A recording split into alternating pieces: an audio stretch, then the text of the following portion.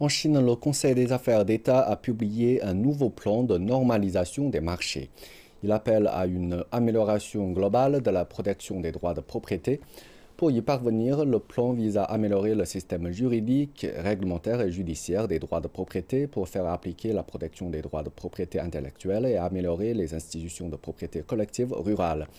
Les régions et les départements ne seront pas autorisés à publier leur propre liste négative d'accès au marché. Et l'accès au marché sera facilité dans les zones pilotes telles que Shenzhen, la zone de libre-échange de Hainan et la zone de coopération Hengqin-Guangdong, Macao. Le plan appelle à de meilleures politiques de gestion et à des produits plus innovants.